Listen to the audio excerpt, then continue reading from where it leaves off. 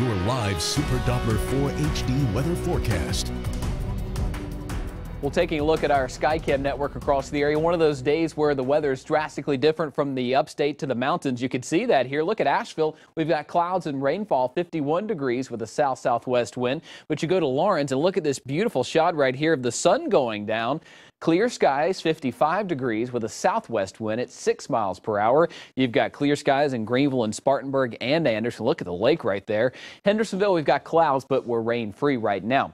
The mountains stand the best chance of seeing some of those showers. You can see them moving through Marshall and Asheville very quickly. Even some snowfall in the high elevations like Mount Mitchell and then back toward the mountains, back toward Jackson and Haywood counties. But some quick moving rain for the mountains, maybe the northern part of the upstate. But as Live Super Doppler 4 HD shows, all of those showers being broken up by the mountains when they move down the mountain. Maybe a sprinkle or two, but it'll be a quick mover and be out of here by this evening. You can see it's cool the mountains, 51 degrees in Asheville. It's 52 right now in Hendersonville, 55 in Spartanburg. Laurens, you're at 58 degrees. Warm in Elberton at 66. We're going to be seeing temperatures continue to warm. You can see we're about 10 degrees warmer than this time yesterday in the mountains, and that warm up will continue tomorrow due to these southerly winds. That's sending in some warmth here, about 5 to 10 miles per hour right now.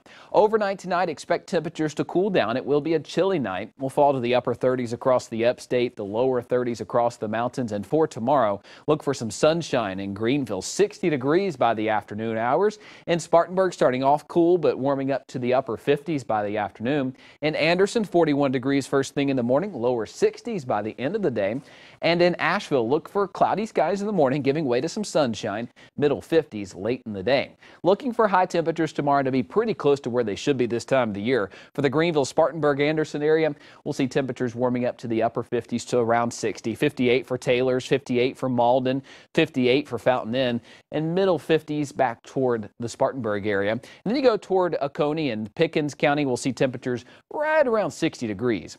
Now, looking at the four day plus here, we're going to see the temperatures continue to warm up. Look at this 66 degrees by Monday, 70 by Tuesday, and it continues to warm up we're going to be at 75 by Thursday as clouds begin to increase. That's when rain begins to move back into the forecast Friday into Saturday. Now that rain is going to be plentiful just west of here earlier in the week. We're going to have to time that out because if it moves a little bit faster, we could have rain by Thursday. But that looks to be a soaker Friday and then through the first part of Saturday.